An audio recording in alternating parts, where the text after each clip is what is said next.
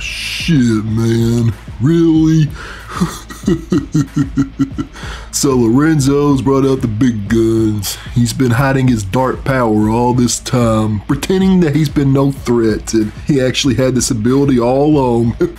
Mordecai knew what he was doing, everyone. Lorenzo. I guess he's Lorenzo the dead or, or the undead. I can't really tell if he's brought back to life. Uh, he was brought back to life dead.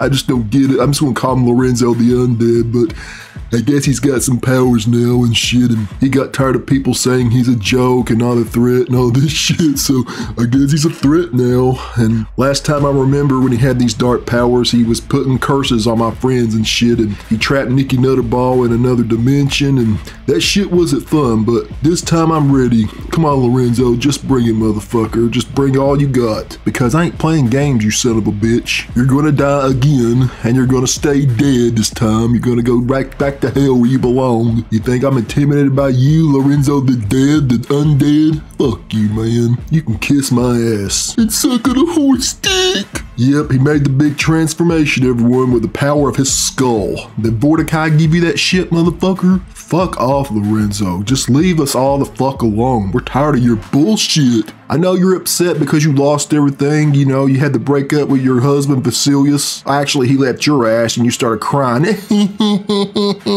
so now I guess your boyfriend is that damn skull you have. You probably skull fuck it all the time. But in the end, you're gonna die again. Your soul's gonna be straight, you know, sent back to hell or something by Steve the Darkness. I hope that happens because I'm still not afraid of you. I don't care if you got some powers or whatever. You're just an annoying threat now and you gotta be dealt with, bitch. So fuck you. I'm gonna go now, everyone. I am Bubba Dunk Funkin', and I'll see y'all next time. Goodbye, bitches. Yeah.